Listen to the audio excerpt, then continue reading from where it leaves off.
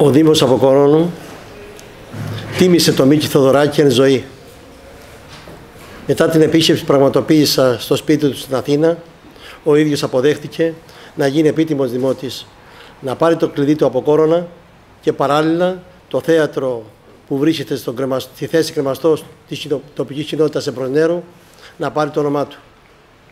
Σε μια μοναδική λοιπόν συναυλία που πραγματοποιήθηκε 5 Ιουνίου του 2016 όπου ο Μίκης Θοδωράκης αναφώνησε ότι είναι η ωραιότερη ημέρα της ζωής του, συγκινώντας και παρασέροντας τα πλήθη που βρισκόταν εκεί. Επιχειρούμε λοιπόν αφορμής δοθήσεις του ενός έτους από την εκδημία του, νοερά να τον έχουμε πάλι μαζί μας. Καλούμε λοιπόν τον κόσμο, όλους, να απολαύσουν τους μοναδικούς Τάσο Αποστόλου και Άννα στο θέατρο Μίκης Θοδωράκης στον Εμπρόντων Αποκορώνου στις 9 το βράδυ στις 10 Ιουλίου. Θα έχουμε φροντίσει να έχουμε προσπελασιμότητα και τα διαδικαστικά.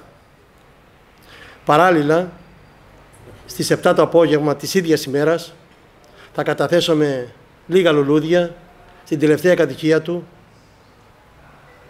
στο νεκροταφείο στο Γαλατά. Θέλουμε να εκπέψουμε ένα ιδιαίτερο συμβολισμό.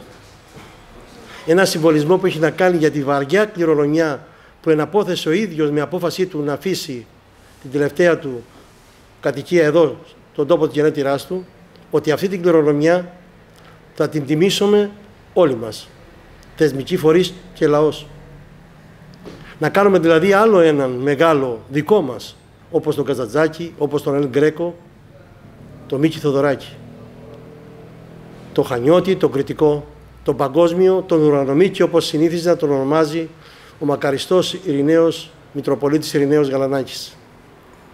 Το δικό μας Μίκη, τον αντιστασιακό, τον Έλληνα, τον μουσικοσυνθέτη. Καλό λοιπόν για άλλη μια φορά να βρεθούμε στο Θέατρο Εμπροσνέρου με είσοδο ελεύθερη να απολαύσουμε του Στάσου Αποστόλου και Ανακότη στα έργα Μπαλάντα του Ματσκάουζεν, Λιποτάκτες, Τριλογία, Ρομαντσέρο, έργα που όλοι αγκαλιάσαμε και αγαπήσαμε.